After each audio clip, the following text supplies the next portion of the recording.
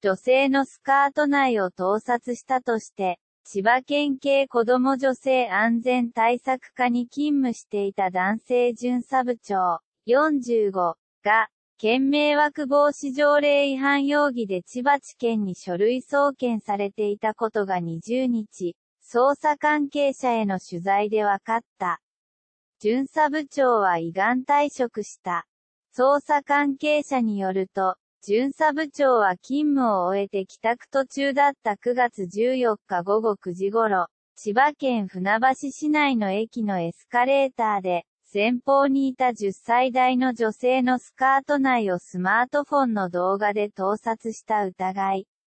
不審な行動に気づいた男性とトラブルになっているのを見かけた駅員から110番があり、発覚した。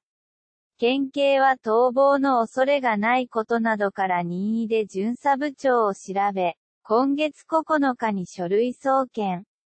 巡査部長は同日付で減給10分の1、6ヶ月の懲戒処分を受け、依願退職した。興味本位で始めた。成功した時の高揚感や達成感が忘れられなかった、と話したという。県警監察官室は、被害者と県民の皆様に深くお詫び申し上げる。指導を再度徹底し、信頼回復に努める、としている。